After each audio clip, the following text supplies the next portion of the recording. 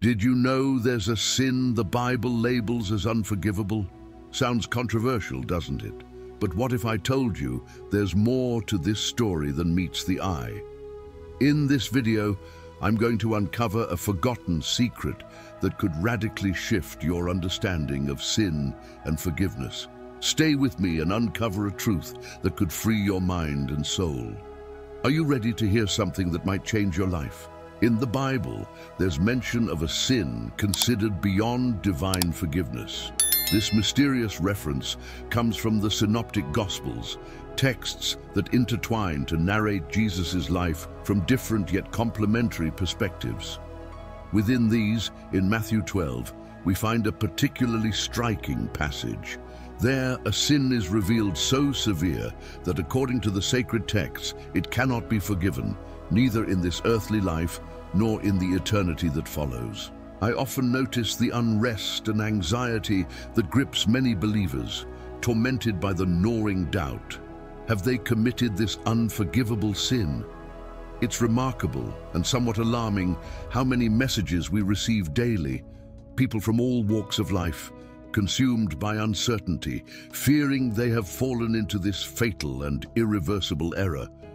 You'd be surprised at the number of souls wandering under the weight of this fear, the persistent dread of having crossed this forbidden line. However, what becomes clear amid all these questions is a certain lack of understanding about the true nature of this unforgivable sin.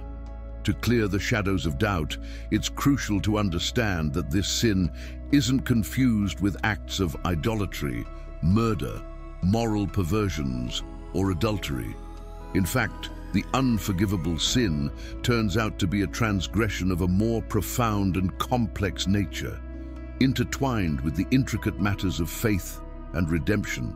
In Matthew 12, 22 to 34, we witness a moment of profound revelation and challenge.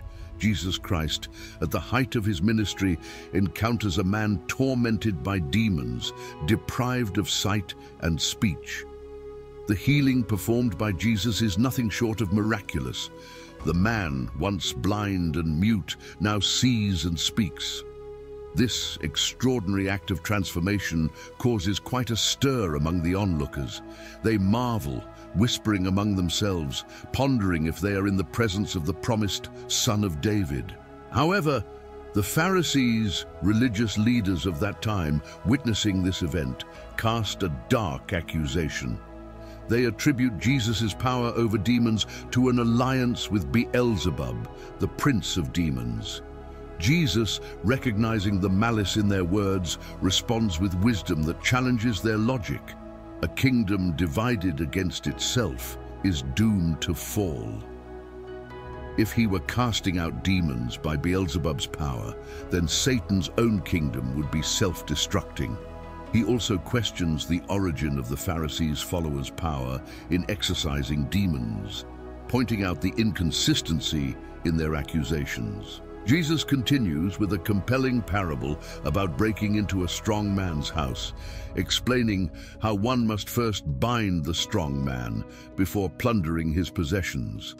He uses this metaphor to illustrate the conquest over demonic power and the arrival of God's kingdom Firmly he declares that those not with him are against him, and those not gathering with him scatter.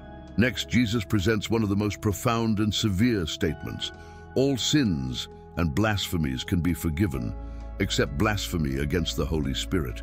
He clarifies that speaking against the Son of Man can be forgiven, but whoever speaks against the Holy Spirit will face an unforgivable fate in this age and the next.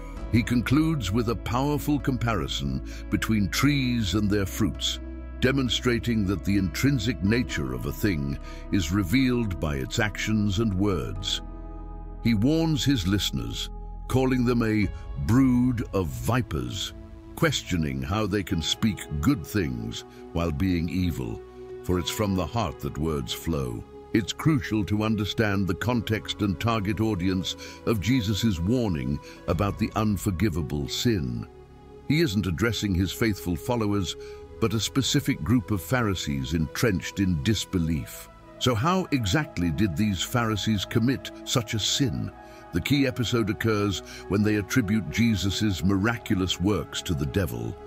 In Matthew 12:24, after witnessing a miracle, they say, This man does not cast out demons except by Beelzebub, the prince of demons.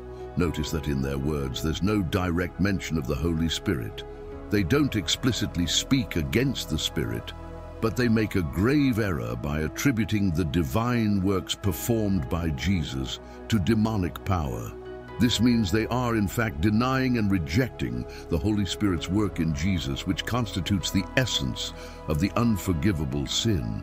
This attitude not only challenges Jesus' authority, but also rejects the salvation he offers. By labeling Jesus' work, which is clearly divine and benevolent, as an act of evil, they place themselves in direct opposition to the salvific and redemptive power of the Holy Spirit. Essentially, they are denying that Jesus is the living Son of God, thus rejecting salvation itself. This brings us to a crucial question. Can a Christian, someone born again, commit such a sin? The answer is a resounding no. A true Christian who understands and accepts Jesus' work would never attribute his works to the devil.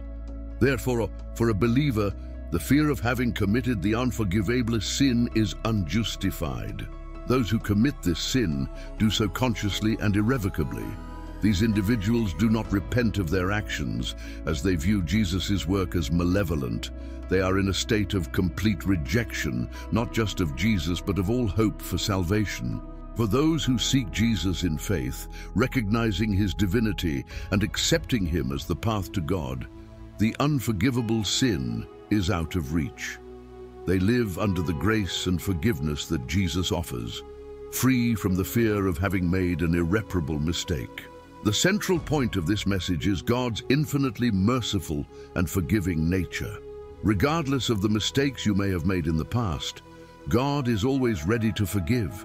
It is crucial that you do not live under the yoke of fear or the belief that you are condemned to hell. God embodies forgiveness and compassion. As Matthew 12:31 teaches us, Therefore I tell you, every sin and blasphemy will be forgiven men, but the blasphemy against the Holy Spirit will not be forgiven men. This means that, except for the specific blasphemy against the Holy Spirit, every other sin can be forgiven. Reflect on this. What past mistakes still haunt you? Today is the day to confess these sins and free yourself from their weight. You are tormenting yourself over something God has already forgiven. It's time to move forward, to leave the past behind. Free yourself from guilt and the burden you carry. God, in his essence, is love and forgiveness. Do not let the spirit of condemnation rule your life. In my years as a Christian minister, I've realized something important. The devil knows those who are truly reborn believers. While he cannot hinder your eternal salvation, he will certainly try to make your earthly life miserable through the spirit of condemnation. Many Christians live as if the sins they have committed are unforgivable. This belief is a deception. If you are a child of God, he is not angry with you. God doesn't use hell as a looming threat over us. He deeply loves and cares for each of us. Therefore, I encourage you to embrace this truth. God is ready to forgive and has already done so.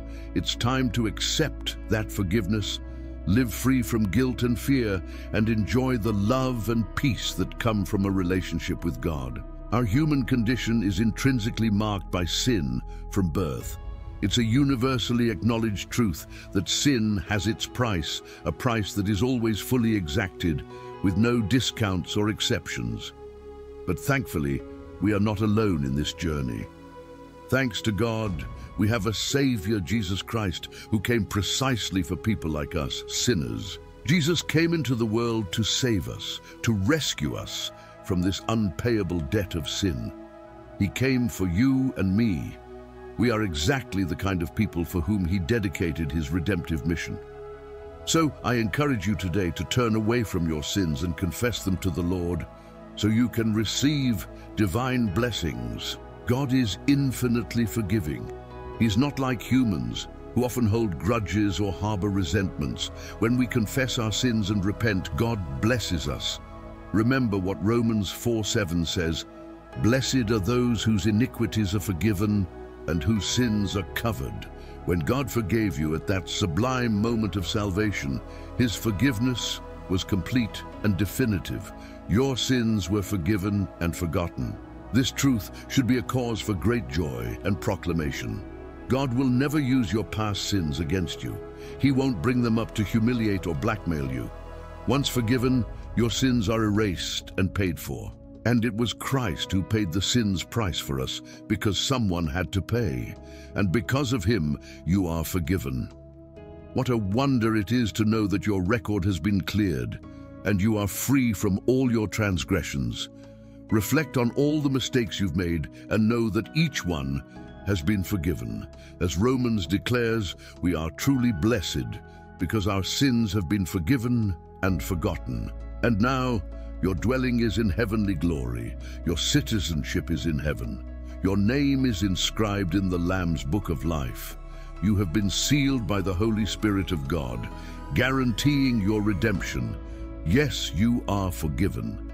This is the divine promise and the hope we have in Christ. You belong to a divine lineage, a distinct and chosen generation, a royal priesthood, part of a holy nation. This is your true identity. You are God's property, and He is your eternal guardian. Consider this, in our human journey, we often face rejection and lack of forgiveness from those close to us. Your mother, your father may harbor resentments for the mistakes you've made. Your spouse may find it hard to forgive certain faults. But what a wonder it is to serve a God who transcends these human limitations. He forgives us not based on others' willingness to forgive us, but on his own merciful and loving nature. As stated in 1 John 1:9, if we confess our sins, he is faithful and just to forgive us our sins and to cleanse us from all unrighteousness. This promise is the foundation of our faith and hope. While humans may be flawed, withholding forgiveness and dwelling on the past, God offers us a completely different reality. He welcomes us with open arms, ready to cleanse and renew us, regardless of our past mistakes. Yes, your family may hold your past against you for the rest of your life, but rejoice and be thankful to God, for in the heavenly realm you are forgiven. This divine forgiveness is an immeasurable gift, a guarantee that no matter the weight of your past, you can break free from those chains and walk towards a future of grace and redemption. God doesn't just forgive, He erases our mistakes and invites us to live a new life under the light of His mercy and love. Therefore, embrace this transformative truth. You are part of a chosen and blessed generation, destined not for condemnation, but for freedom and eternal life. In God, we find a safe haven, unconditional love and forgiveness that renews our soul. With God, our past doesn't define our future. We are renewed and empowered to live a life full of purpose and peace. We've come to the end of this enlightening journey, but this is just the beginning. Imagine how many more mysteries and impactful truths await you in our other videos. If you feel this message has touched your heart, there's so much more we've prepared, especially for you. Don't miss the chance to delve even deeper. Follow our channel now, leave a like, and share this video. Your comment might be the light someone needs on their path of discovery. Join us on this ongoing journey of exploration and transformation until the next video, where we'll continue to uncover secrets that will enrich your life. You won't want to miss it.